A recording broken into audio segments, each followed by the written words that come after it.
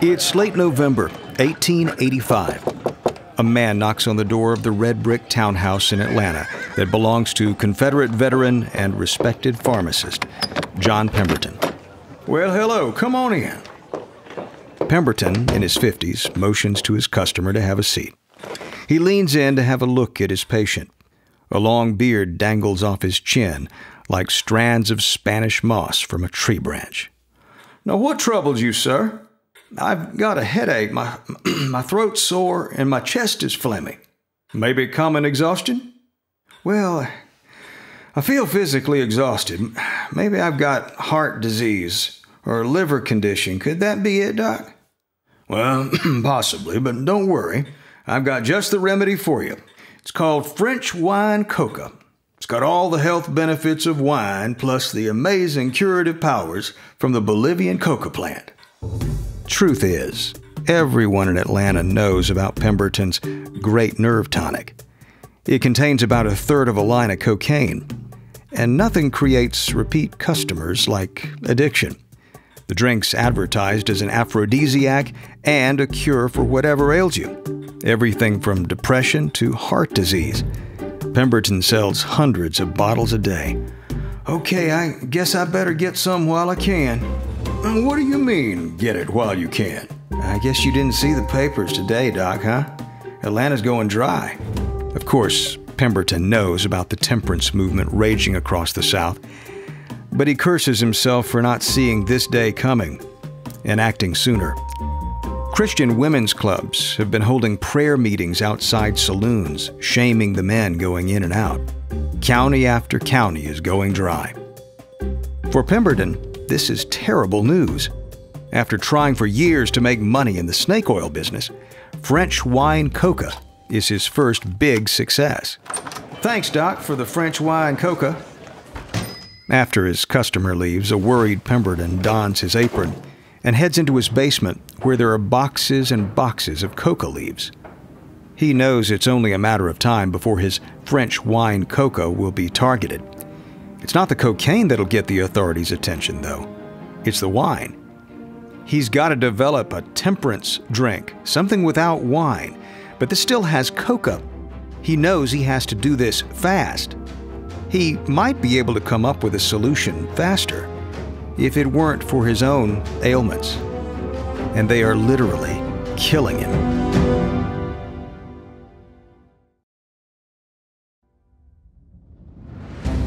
From Wondery, I'm David Brown.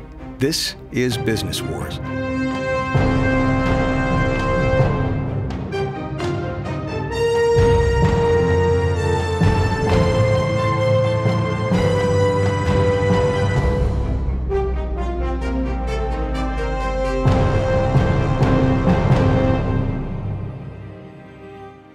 The rivalry between the world's best known brands is legendary and dates back more than 120 years, and it's still bubbling on.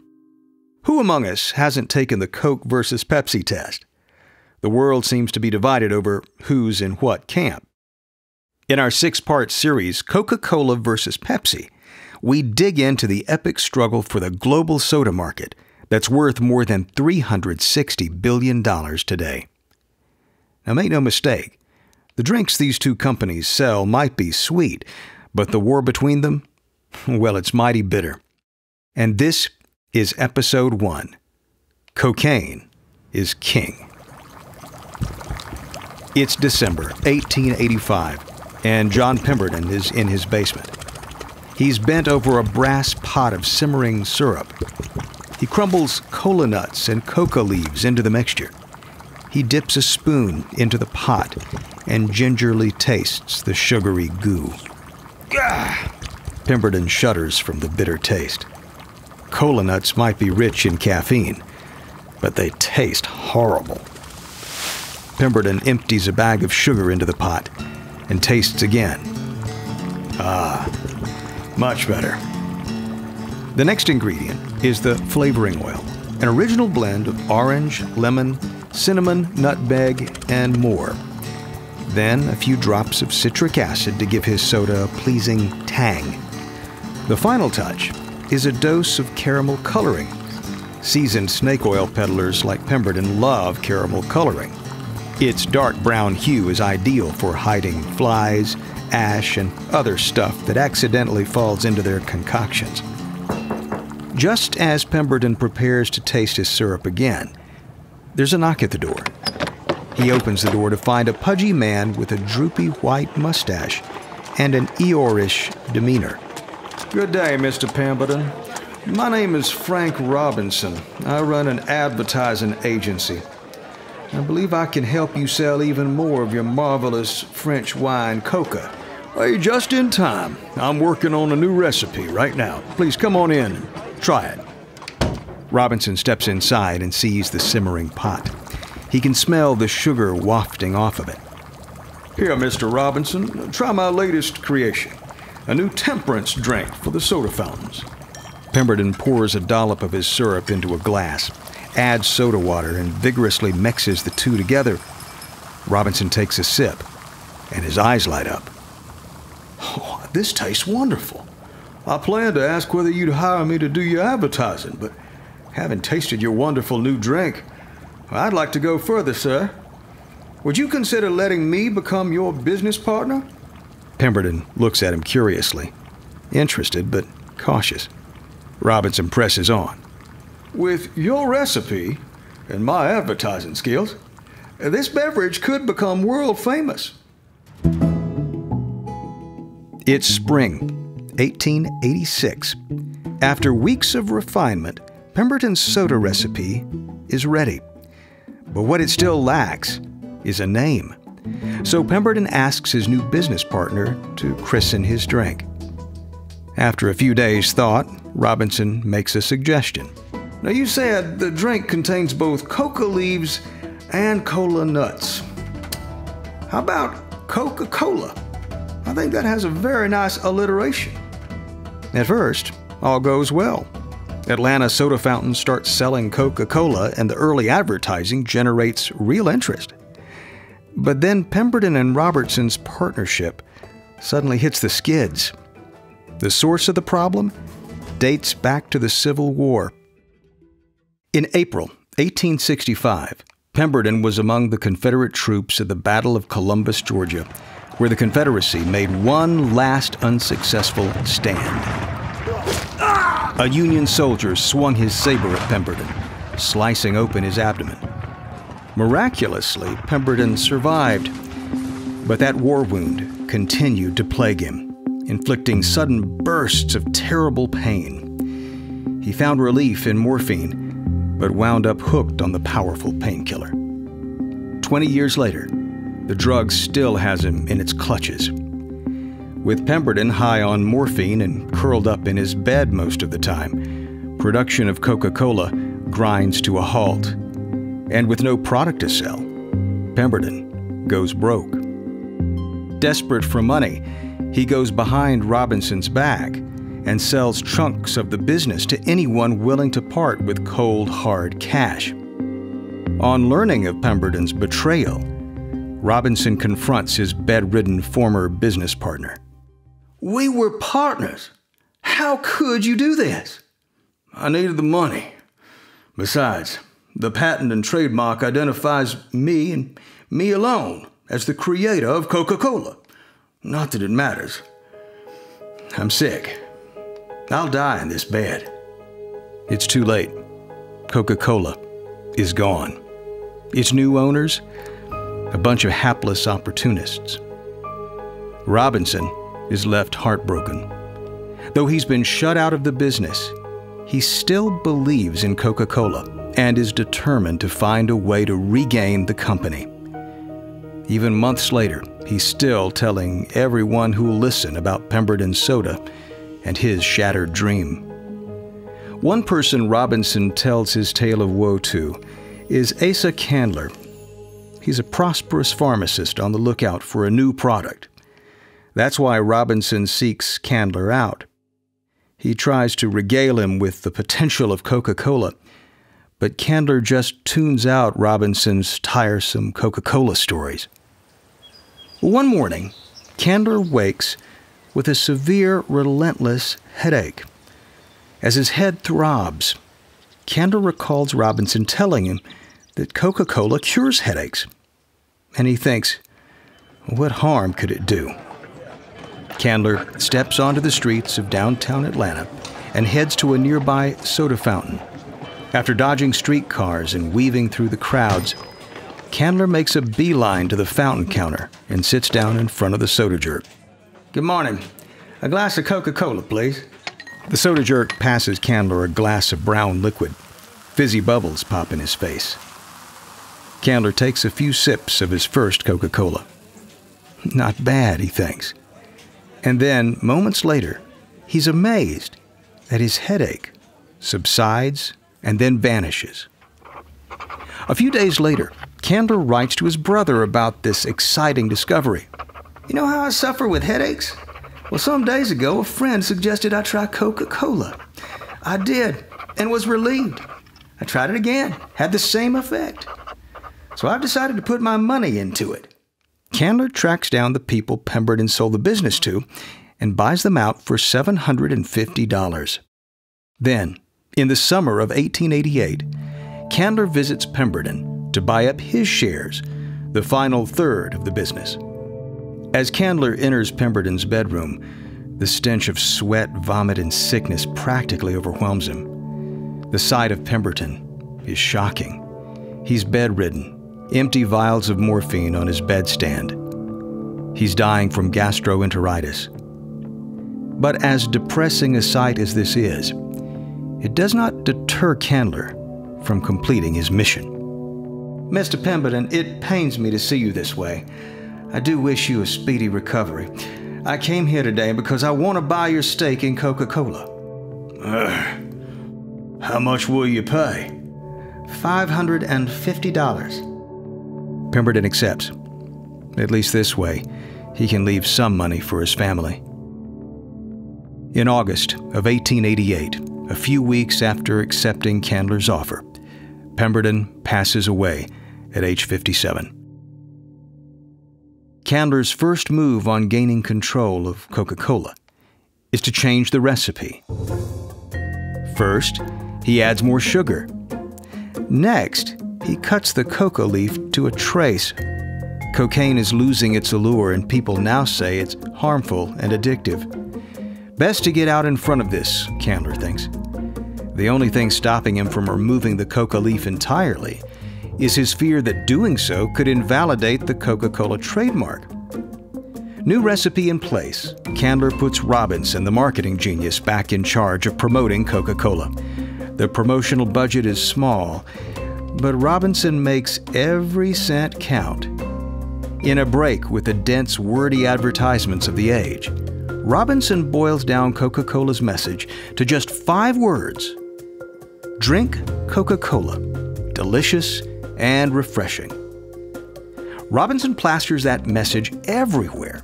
He puts it on streetcars, in newspapers, on leaflets, and paints it on walls.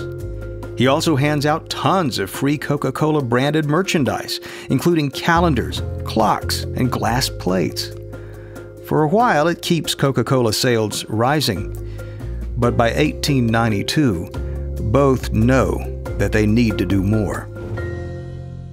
To raise money for more promotional work, Candler forms the Coca Cola Company and invites people to invest in it. He hopes to raise $50,000, but only gets 10,000. Then, Robinson suggests a novel solution. Let's give out promotional coupons that people can redeem at soda fountains for a free glass of Coca Cola. What? You want to give away the drink? Have you gone insane?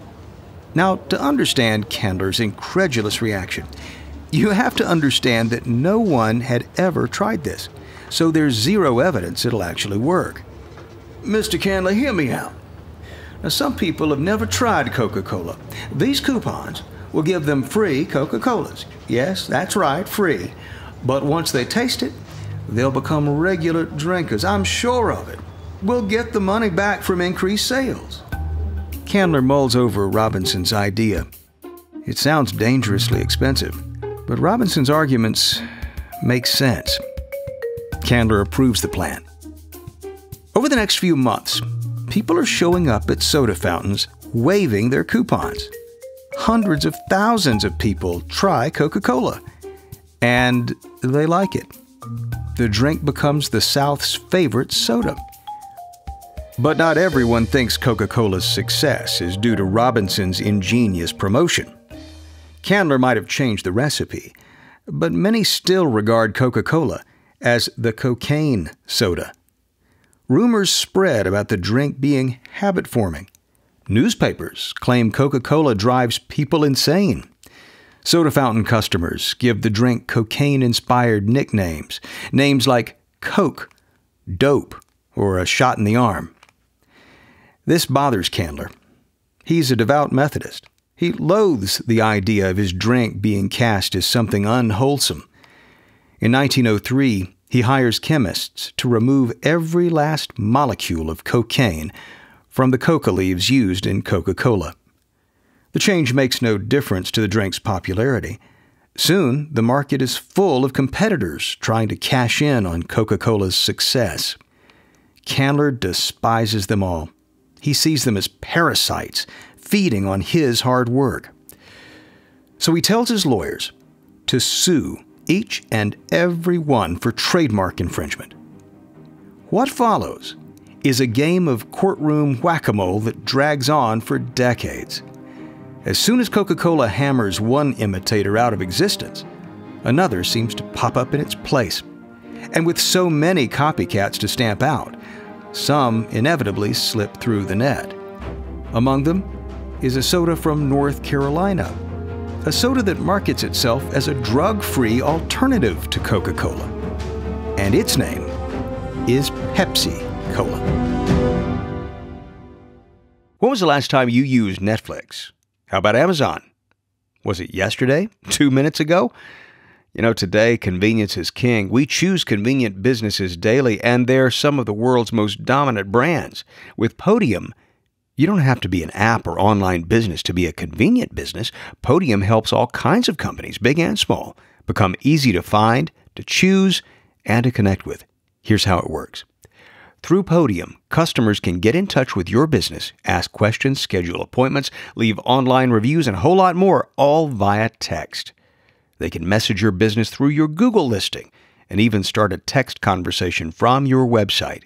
By making their business convenient, Podium users get more reviews, more customers, and more revenue. In fact, the average Podium user sees a 6% increase in revenue just from online reviews.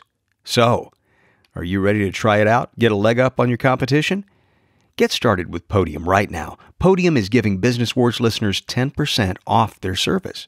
Just head over to podium.com slash BW to get started. That's podium.com slash BW.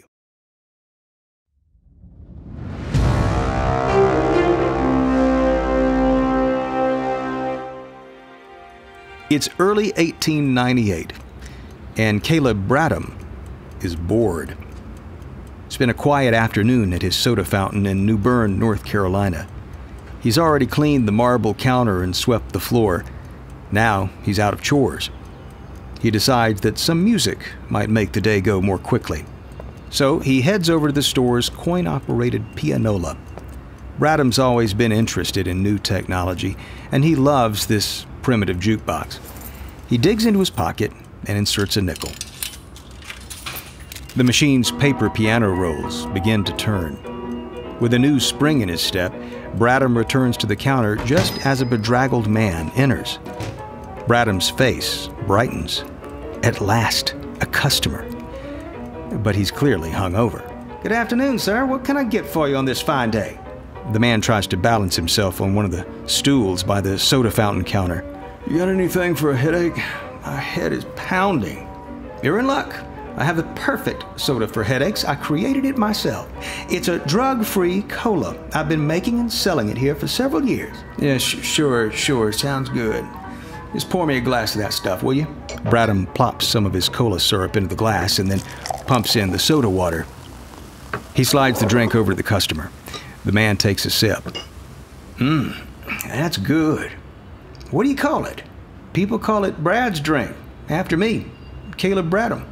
The man gives Bradham a sideways look. He may be hung over, but he knows a lame name when he hears one. Brad's drink. Oh man, you got to give it a better name than that. In August 1898, Brad's drink gets a better name. It's now called Pepsi Cola, and Bradham has big plans for it. He's seen Coca Cola's huge success and believes his cola could become just as popular. Bradham starts selling his syrup to other North Carolina soda fountains. Then he runs advertisements in local newspapers proclaiming Pepsi Cola as a health drink that can cure not only headaches, but indigestion too. In 1902, overflowing with confidence, Bradham founds the Pepsi Cola Company. Coca Cola sees Bradham as just another imitator. But there's more to him than that.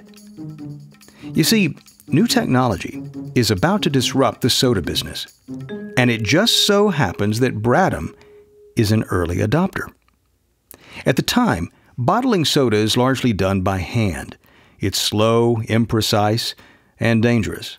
Bottles filled with overcarbonated soda often explode. But Bradham's been reading about the latest bottling machines, machines that will accelerate production, improve hygiene, and reduce the number of exploding bottles. Bradham's plan is to get ahead of the curve. He builds a bottling plant and starts selling bottled Pepsi to people in rural communities, people who don't live near a soda fountain. Then, Bradham persuades independent bottling plants to start producing Pepsi instead of their own colas.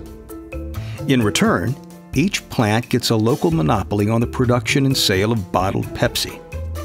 Bradham makes his money by selling Pepsi syrup to those bottlers. By 1915, Bradham is a soda millionaire. Coca Cola's attitude toward the new technology could not have been more different. Coca Cola boss Asa Candler thinks there's no future in bottled soda. So, in 1899, when two Chattanooga lawyers start bugging him for the rights to bottle Coca Cola, he ignores them. But the pair persist.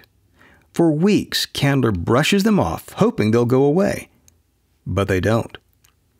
Eventually, Candler agrees to a meeting. Now, gentlemen, I'm not interested in putting Coca Cola in bottles. I just want you to understand that.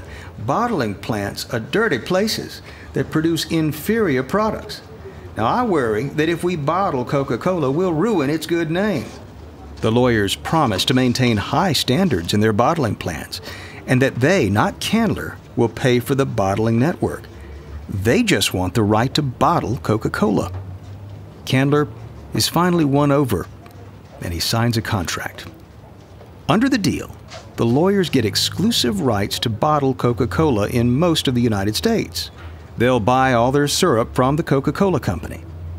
As the lawyers pack their papers to leave, Candler warns them I still don't believe you'll succeed. So if you boys fail, don't y'all come running back to me for help. But the lawyers do not fail. Instead of opening bottling plants themselves, they carve the U.S. into tiny territories and sell franchises to bottle Coca Cola in those areas. Thrilled by the opportunity to get a lucrative, never ending Coca Cola franchise, hundreds of plants sign up. Everyone gets rich. The Coca Cola Company profits from the syrup it sells to the lawyers. The lawyers then make immense fortunes selling that syrup at a marked up price to the bottling plants. The bottlers make their money from selling the bottled Coca Cola they produce. And almost by accident, Coca Cola has created a national soda bottling network in record time. But as 1920 approaches, both Coca Cola and Pepsi run into trouble. The problem is sugar. The government has ended the sugar price controls it imposed during World War I, and now the price of sugar is shooting up and up. This is bad news for soda companies. Sugar is the most expensive part of any glass of cola, and prices for it are soaring. The industry panics. As a hedge, Coca Cola and Pepsi buy huge stockpiles of sugar. But then, the cost collapses and the cola companies are stuck with piles of overpriced sugar. Unable to cover the losses, Bradham cuts production. But with less Pepsi being produced, sales drop, making the company's situation even worse. Bradham battles to save the company, but it's too late. In March 1923, the Pepsi Cola Company goes bust. Bradham's dream is over. But while Pepsi and other cola companies go down in flames, Coca Cola survives and then thrives. To recover from its sugar losses, the Coca Cola Company secures a multi million dollar loan by using its secret formula as collateral. Armed with its loan, Coca Cola can keep expanding, even as the sugar crisis causes its competitors to crumble. With plenty of cash and little opposition, Coca Cola cleans up. By the end of the 1920s, Coca Cola is ingrained in daily American life. It seems unimaginable that anyone will ever be able to challenge Coca Cola for the soda crown. But then, something truly unexpected happens. Pepsi Cola comes back from the dead. In the next episode of Pepsi vs. Coca Cola, the meanest man in the candy business takes on the Coca Cola cops and puts Pepsi back in the game. I hope you enjoyed this episode of Business Wars. We invite you to subscribe on Apple Podcasts, Spotify, Google Podcasts, Stitcher, iHeartRadio, or wherever you listen to your podcasts. You'll find a link on the episode notes. Just tap or swipe over the cover art.